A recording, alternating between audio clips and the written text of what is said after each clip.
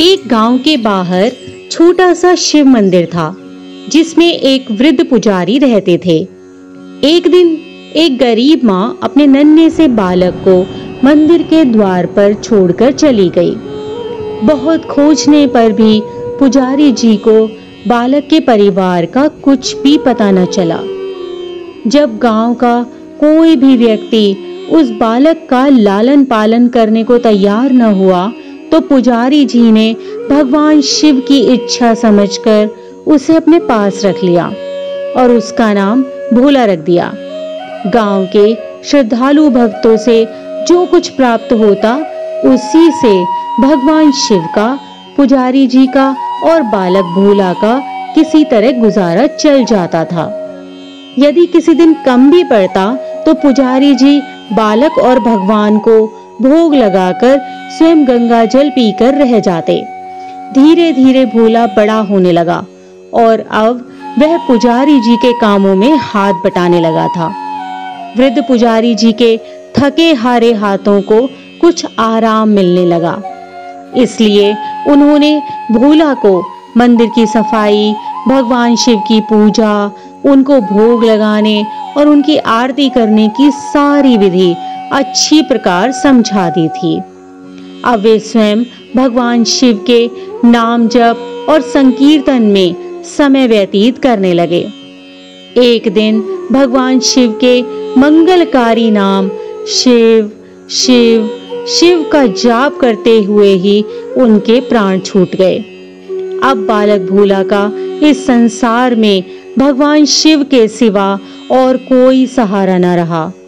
उसने पुजारी जी की ये तीन बातें कभी नहीं भूली। भगवान भोले शंकर, शिव शंकर को ताजी गर्म रसोई का ही भोग लगाना। दूसरी, भगवान को भोग लगाए बिना स्वयं कुछ भी नहीं खाना। और भगवान शिव पर विश्वास रखकर कभी भी किसी भी वस्तु का संग्रह न करना। बासी भोजन का भी नहीं। यदि कोई भक्त पहले से बना भोजन या मिठाई मंदिर में दे जाता तो बालक भोला उसे गरीबों में बांट देता। वह ताजी रसोई बनाकर ही भगवान का भोग लगाता था। उसके बाद ही स्वयं प्रसाद ग्रहण करता और यदि बचता तो उसे बांट देता। यदि रसोई बनाने की सामग्री न होती तो भोले बाबा और भोला दोनों गंगाजल पीकर ही रह जाते थे। एक बार बरसात का मौसम आया और तीन चार दिन तक मूसलाधार वर्षा होने से मंदिर में एक भी भक्त नहीं झांका। भोला अपने भोले बाबा को गंगा जल का ही भोग लगाता और उसे ही स्वयं भी पीकर रह जाता। भोले बाबा बालक की भक्ति और सहन शक्ति की परीक्षा लेते रहे, किंतु आखिर में अपने भक्त बालक को भूख से तड़पते देख उनसे रहा न गया। वे सेठ के नौकर का रूप धरकर हाथ में भोजन सामग्री की पोटली बालक को देते हुए बोले, सेठ जी ने यह सीधा, अर्थात कच्चा राशन भेजा है। इससे रसोई बनाओ, भोग लगाओ और स्वयं भी प्रसाद पाओ। मैं कल फिर आऊँगा। भोला भगत ने आशीर्वाद देकर उसे विदा किया और गीली सूखी लकड़ियों के धुएँ में गरम रसोई बनाई और रसोई बनाकर भोले बाबा को भोग लगाया। पूरे बरसात के मौसम में भोले बाबा नौकर के वेश में आते और भोला भगत को सीधा देते रहे और स्वयं भी गर्मा गर्म रसोई का भोग पाते रहे। एक दिन भोला भगत ने सोचा कि सेठ जी को राशन भेजते हुए चार महीने हो गए हैं। किंतु वे स्वयं कभी मंदिर में भोले बाबा का प्रसाद ग्रहण करने और उनके दर्शन करने के लिए नहीं आए। अगले दिन जब भोले बाबा नौकर के वेश में राशन की पोटली देने आए तो भोला भगत उनसे बोला, भाई, तुम्हारे इतने धर्मात्मा सेठ जी कभी स्वयं मंदिर में प्रसाद लेने नहीं आए। इस कारण मेरा हृदय अत्यंत दुखी हो रहा है। अपने सेठ जी से कहना कि कल वे भी मंदिर में प्रसाद ग्रहण करने अवश्य पधारें। ऐसा सुनकर नौकर बने भोले बाबा चौंक कर घबरा उठे और बोले, पुजारी जी, सेठ जी मेरे द्वारा आपको राशन भेजते हैं। आप इससे भगवान जी का भोग लगा देते हो और स्वयं भी प्रसाद पा लेते हो। फिर सेठ जी को बीच में बुलाने की क्या ज़रूरत है? जैसा चल रहा है, वैसे ही चलने दीजिए ना। भोला बोला ऐसे कैसे चलने दूँ? आपके धर्मात्मा सेठ जी इतने दिनों से राशन भेज रहे हैं। क्या मैं उन्हें भगवान का प्रसाद देने का अपना कर्तव्य भी पूरा न करूँ? मैं किसी का उधार खाने वाला नहीं हूँ।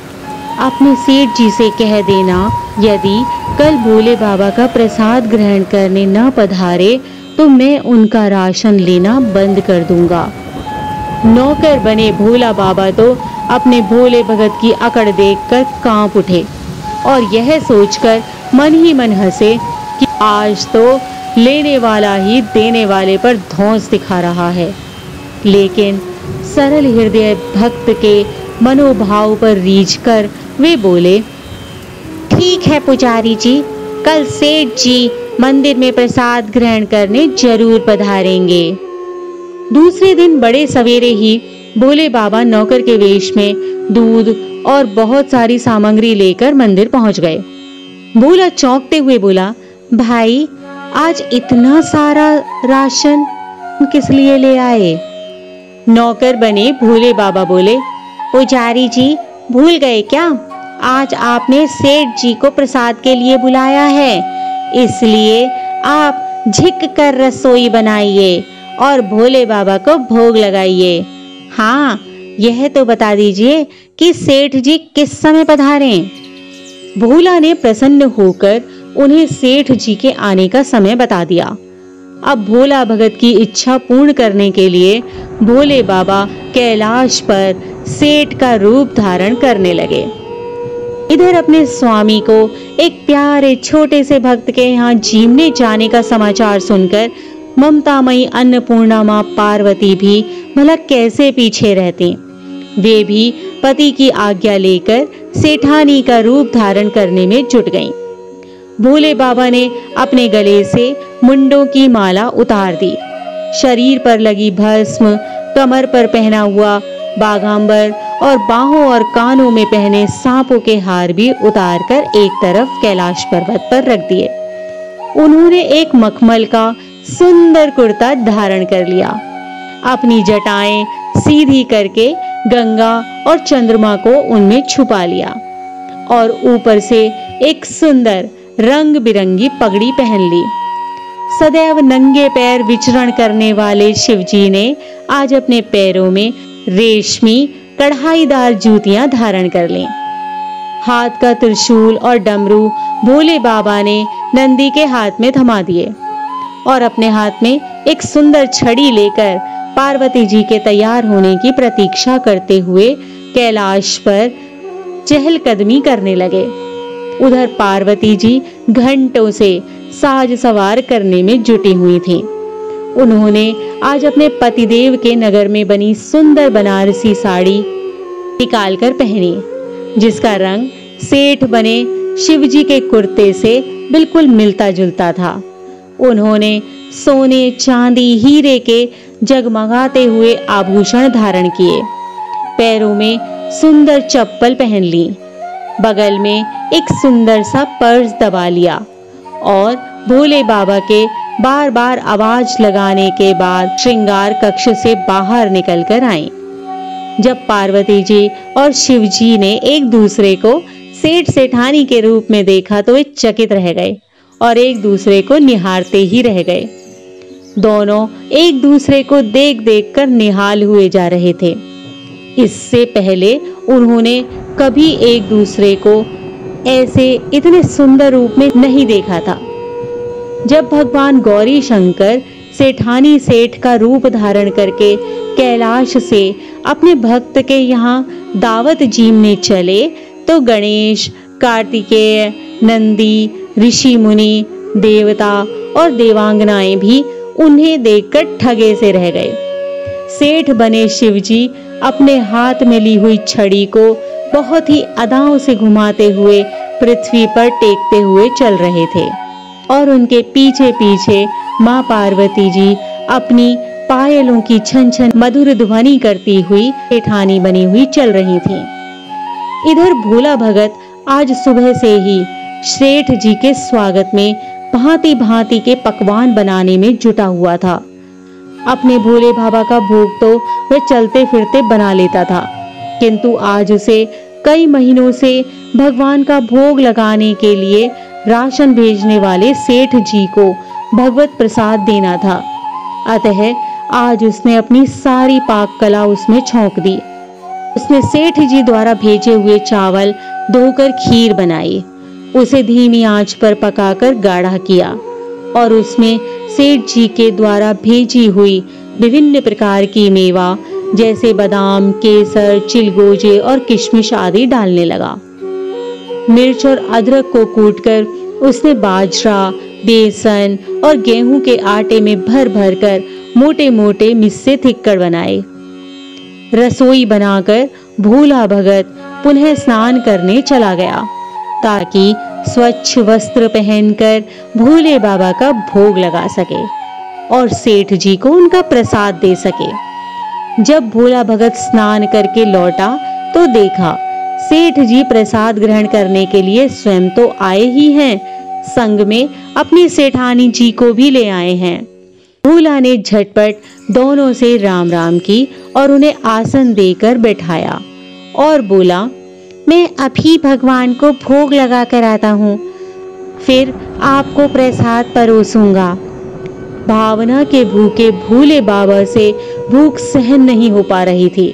इसलिए वे बोले पुजारी जी, भगवान को जल्दी से भोग लगाइए। मुझसे भूख सहन नहीं होती।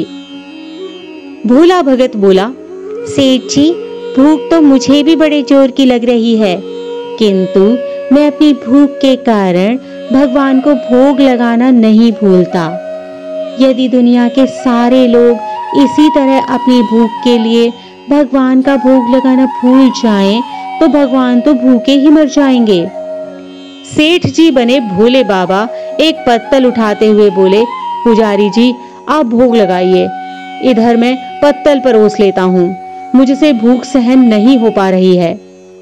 भोला भगत सेठ जी बने भोले बाबा को डांटते हुए बोला, सेठ जी, भगवान के नाम, भगवान के काम में न तो जल्दबाजी चलती है और न ही कंजूसी। मैं जब तक भगवान का भोग नहीं लगा लेता, आप रसोई के पास भी नहीं भटक सकते। चुपचाप इधर बैठ जाइए और ओम नमः शिवाय का जाप करते रहिए। मैं अभी आता हूँ और आपको पेट भरकर भोजन कराता हूँ।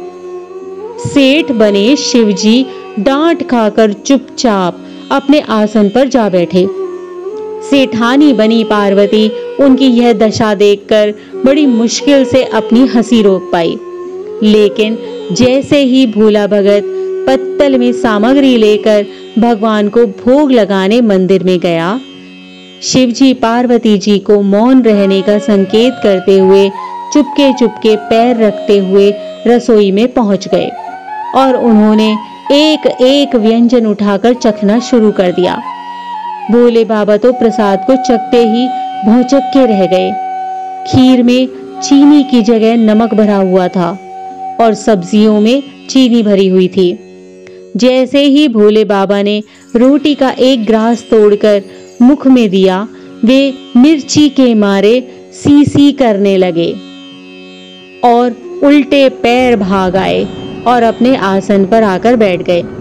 माँ पार्वती अपने स्वामी की यह हालत देखकर खिलखिलाकर हंस पड़ी। इससे पहले कि भोले बाबा पार्वती जी के सामने कुछ सफ़ाई दे पाते भोला भगत ओम नमः शिवाय, ओम नमः शिवाय, का जाप करते हुए आ पहुँचा। उसने भोग को रसोई के अन्य व्यंजनों में मिलाकर उसे पवित्र बना डाला और फिर सेठ जी के सामने पत्तल परोसकर हाथ जोड़कर बोला, सेठ जी, अब आप जी भर कर प्रसाद खाइए। भोले बाबा तो अभी अभी भक्त की भक्ति से भी जोरदार उसके हाथ की बनी हुई रसोई चख चुके थे। अतः उसे जीवने की बात सुनकर उनके पसीने छूटने लगे। कभी वे भोला का तो कभी पार्वती माँ का मुख देखने लगे। भोला को सेठ जी की ढील बर्दाश्त नहीं हुई और बोला, सेठ जी, अब क्या हो गया है आपको? अभी अभी तो इतनी उतावली मचा रहे थे। अब क्यों नहीं जीमते? आप जीमोगे तभी तो माता जी भी प्रसाद ग्रहण करेंगी और फिर मैं भी प्रसाद पा पाऊँगा। भोला की ललकार सुनकर भोले बाबा ने चुपचाप खीर का कुल्लड़ उठाया और सारी नमकीन खीर कटागट पी गए। कुल्लड़ खाली होने की देर थी कि भोला ने उसे झट से भर दिया। अपने प्रिय भक्त के हाथों परोसे हुए भोग में भगवान को आज दुगना स्वाद आने लगा। भोला परोसता गया और भोले बाबा खाते रहे। जगत माता पार्वती, भक्त और भगवान दोनों के प्रेम को देख देख कर मंत्र मुग्ध होती रही। जब सारी रसोई समाप्त हो गई तो भगवान ने एक ज़ोर की डकार ली। भोला को होश आया और बोला, वाह, सेठ जी, वाह! मैं भी बावला था जो इतनी थोड़ी सी रसोई बनाई। मुझे पता होता कि आपको प्रसाद ग्रहण करने का इतना शौक है तो और भी ज़्यादा रसोई बनाता। भोले बाबा अपने पेट पर हाथ फेरते हुए सेठानी बनी पार्वती जी की ओर मुस्कुरा कर देखते हुए बोले, पुजारी जी, मैं इतना रोज कहाँ खाता हूँ? किंतु आज प्रसाद इतना स्वादिष्ट बना था कि अपने पर वश ही नहीं रहा और खाता ही चला गया। किंतु तभी भोला भक्त रुआसा होकर बोला, सेठ जी, यह तो आपने ठीक किया, लेकिन माता जी तो भूखी ही रह गई हैं। ममता मई पार्वती माँ से भोला का रुआसा मुख देखा नहीं गया। उन्होंने बची हुई खीर की चार बूंदें अपने कंठ में टपका ली। भोले बाबा द्वारा भोग लगाने से प्रसाद में अद्भुत अलौकिक स्वाद भर गया था। ऐसी सुगंधित और मीठी खीर चखकर जगत जननी आकंठ तृप्त हो गईं और उनके तृप्त होते ही सृष्टि का प्रत्येक प्राणी तृप्त हो गया। भोला भगत बोला, सेठ जी, आपने और माता जी ने प्रसाद ग्रहण कर लिया। इससे मुझे अत्यंत संतोष हो रहा है। समझ लीजिए कि आप दोनों द्वारा प्रसाद ग्रहण करने से मेरा भी पेट भर गया। मेरी तो वैसे भी महीने में दो दो एकादशी हो जाती हैं। किंतु मैं भी एक दाना ले ही लेता हूँ, जिससे कि भोले बाबा के प्रसाद का अनादर ना हो। यह कहकर जैसे ही भोला ने खीर के पात्र में लगा चावल का एक दाना उठाकर अपने कंठ में डाला, उसकी जन्म जन्मांतर की भूख प्यास मिट गई और समस्त वासनाओं और इच्छाओं की तृप्ति हो गई। उसके ज्ञान के नेत्र खुल गए और उसने देखा कि उसके सम्मुख त्रिलोकीनाथ भगवान शंकर और जगत जननी माँ पार्वती आशीर्वाद की मुद्रा में मुस्कुराते हुए खड़े हैं। भोला दौड़कर उनके चरणों में लौट गया। लौटता गया लौटता गया और उन्हीं में समा गया। जय भोले बाबा, जय माता पार्वती।